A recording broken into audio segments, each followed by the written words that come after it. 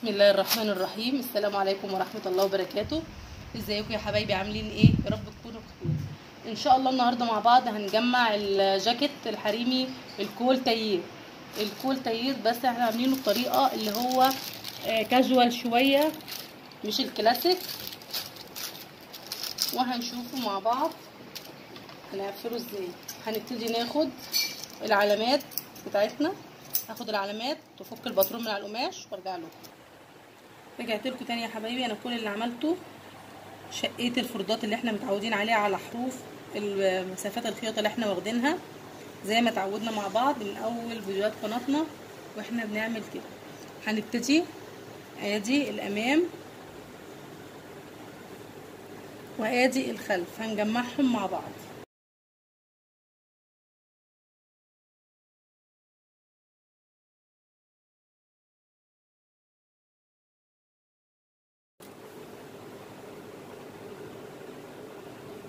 هسيب قبل قبل خياطة علامة الخياطة هنا. هقف قبليها بشوية عشان لما أجي أركب السجاف بتاع المرد من قدام أو المصحف كفاية كده. أهي هسيب حتة كده عشان لما أجي أركب المسرة هتلف عليها.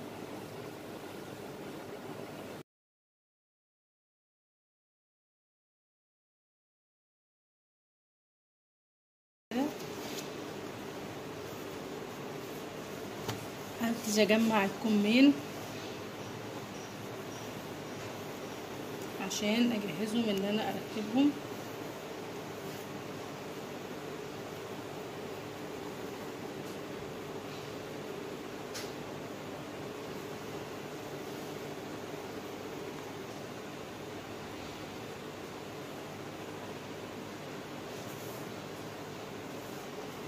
اتاكد من اتجاه الكم وابتدي. اقفله عادي خالص.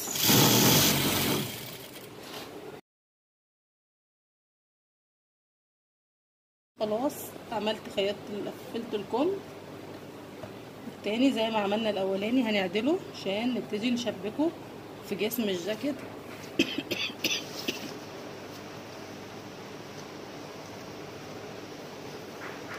هنبتدي نشبكه.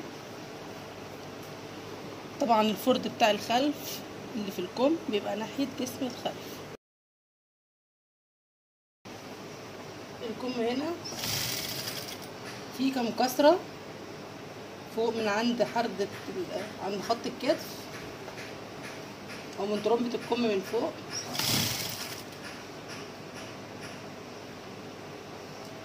بعتذر يا جماعة عن الأصوات المزعجة.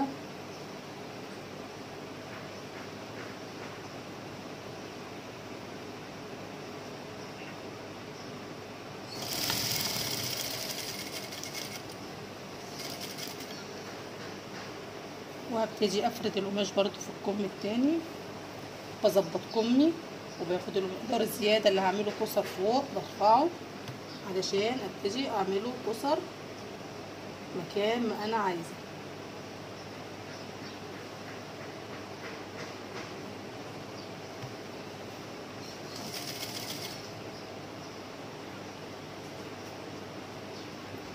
يبقى هنا عملنا ثلاث كسرات صغيرين يمين وثلاثة شمال.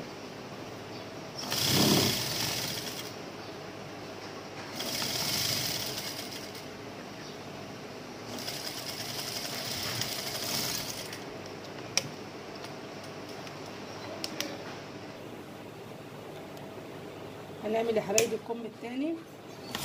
نفس طريقة الأولاني.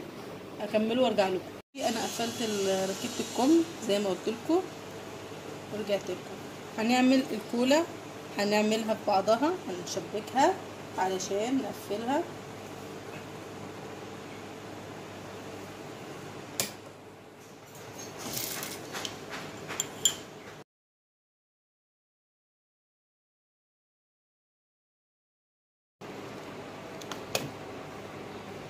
اقلب الكوره بالمكوى وأرجع لكم تاني. دلوقتي يا حبايبي أنا قلبت الكولا وثبتها بالمكوى زي ما قلت لكم هنبتدي نثبت نص الكولا على نص الخل.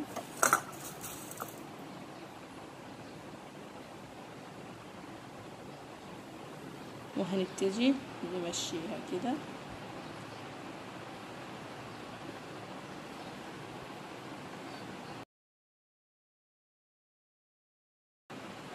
جت عند الشق اللي إحنا عاملينه اللي هو بتاع خط بداية التركيب بتاع الكولا علامة بداية تركيب الكولا علشان لما تتخيط وتتقلب هتبقى بالمنظر ده.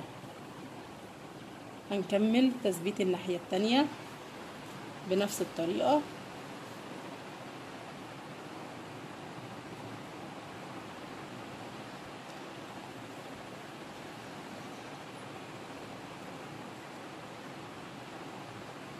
اكمل تثبيت وارجع له. أنا يا حبايبي ثبت الكولا زي ما وريتها لكم بالدبابيس.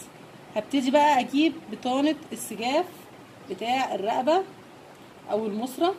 بصي هي من الكتف على الكتف أهو. وهبتدي أثبت. بسم الله الرحمن الرحيم.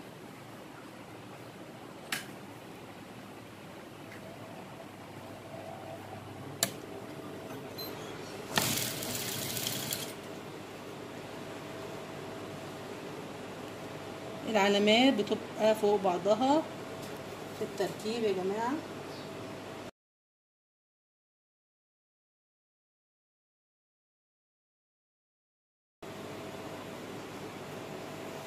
الدوران بتاع الحرف بتاع الجاكيت يبقى على بعضه بالطريقة دي.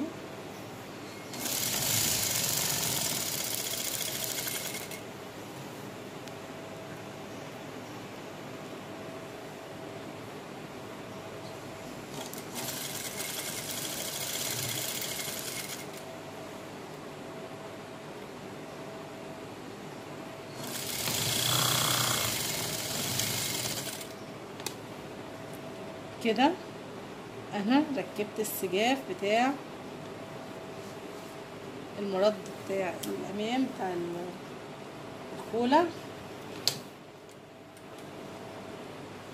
بصوا بقى بعمل إيه في المسرة بقوم جاية حطاها على بعضها.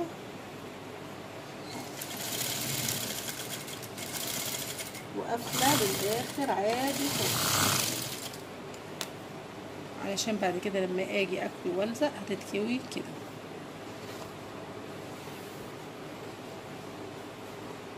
ابتدي أركب النصرة التانية هركبها بنفس الطريقة وأرجع له. يا حبايبي بعد ما ركبت الكولا المصرة الناحية التانية اهي هي في الكول شال العادية بتبقى دي أعرض شوية وبنتنيها كده أو ممكن تبقى هي رفيعة وبنتنيها كده لبرة. لكن إحنا في الجاكيت ده هنسيبها مفروده كده في اللبس. هي ممكن تتني وممكن تتساب مفروده. إحنا هنسيبها مفروده كده وهتلبس الجاكيت بالمنظر ده. إحنا ناقص لنا كده نركب القلابة بطانة القلابة بتاعه الكم وهنركب الجيوب العروه المنظر. هنعمل الجيب بشكل جديد عن غير الجاكيت الكل شال اللي عملناه. هنعمل له ليه بنده من بره. ونتعلم إزاي نعمل البنده مع بعض. هنبتدي ان إحنا أنا لزقت الحاجات بتاعتنا دي طبعا طقمه الكم ادي البنده بتاعت الكم الجيب دي هقفلها وادي الشفات بتاعت الجيبين وادي الجزء اللي هثبت عليه الجيب. فهبتدي بقى ان إحنا هنثبت البندات دي نقفلها ونجهزها عشان تتركب.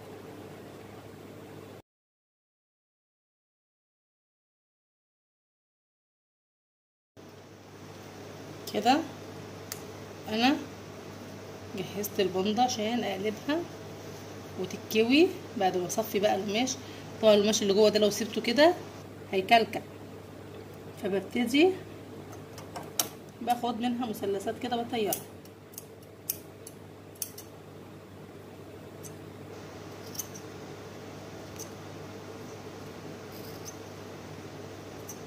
في الدوران يا جماعة. بنعمل المثلثات دي. بصوا الفرق بقى بين الجزئية اللي إحنا قصقصنا المثلثات منها والجزئية التانية. بصوا هنا هتلاقي فيها كلكعة ومش متظبطة.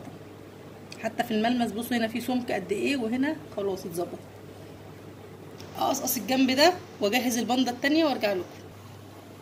رجعت لكم يا حبايبي أنا خيطت البندة التانية وقلبتهم بالمكوى هنبتدي بقى نعمل إيه؟ نثبت المنظر بتاع البندة بتاعت الديك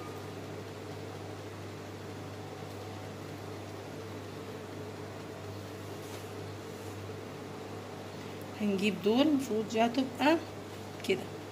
الناحية اللي هتبقى من جوه كده بخيطها الأول من بره.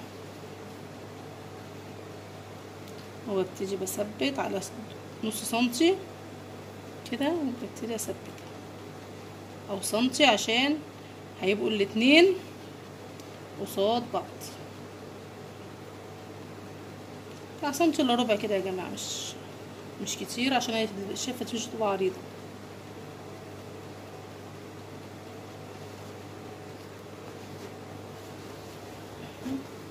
افرد لكم أكتر عشان يبقى واضح.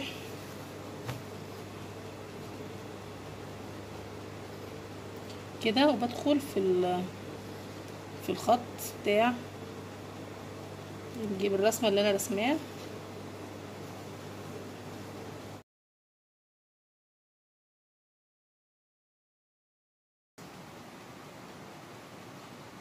كده دي وصلت لآخر الجيب فبرجع باخد غرزة عكس كده.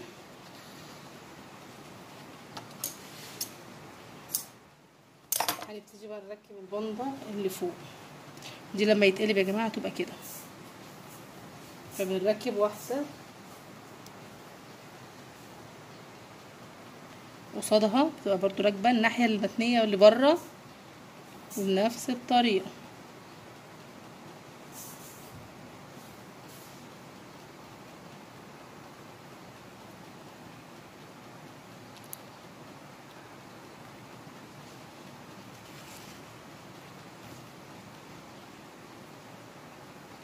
اثبت البنده التانية دي زي ما أنتوا شايفين زي الأولانية بالظبط بنفس الطريقة. اهي بس إحنا طبعا قلبينها الناحية التانية. أكمل السراجه بتاعتها وأرجع أوريكم هركب عليها البنده إزاي. رجعت لكم يا حبايبي. أديني ثبتها كده.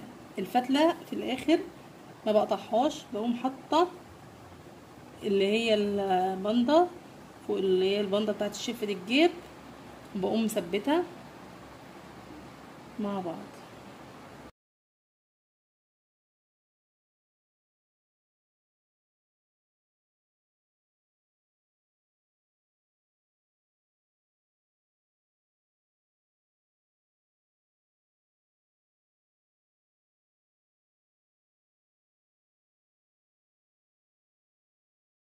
لو أنا هعمله جيب بجد بحط طبقتين قماش فوق البندات بنفس الاتجاه.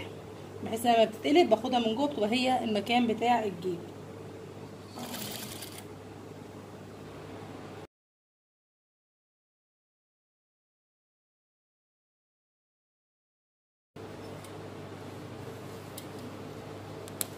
كده إحنا ثبتنا الجيب.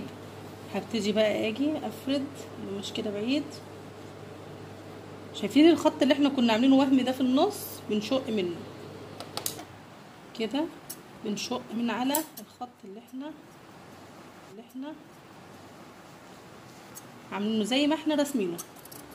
وبنيجي عند المثلث اللي إحنا واخدينه بتاع التثبيت بتاعه بنشق لحد زاوية الخياطة بتاعت الجيب هنا.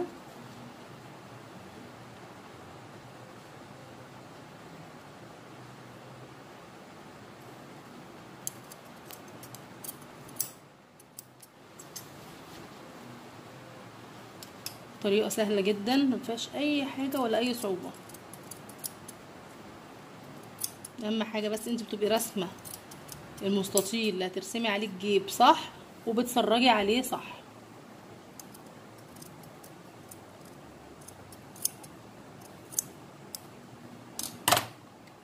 كده طبعا بنفك السر نقوم مدخلين. نجيب من جوه كده. بسيب البنده بتاعتي من بره. إحنا عايزين هو المنظر ده كله إحنا معتمدين ان إحنا هنجيب منظر البنده هيبقى المنظر كده يا جماعة. كده يا حبايبي هنوقف الفيديو لحد كده وفي الفيديو الجاي إن شاء الله هنكمل تقفيلة الجيب وهنعمل قلبات الكم وهنشوف برضو الجاكيت في النهاية كان شكله إيه. دمتم في حفظ الله والسلام عليكم ورحمة الله وبركاته. وإلى اللقاء.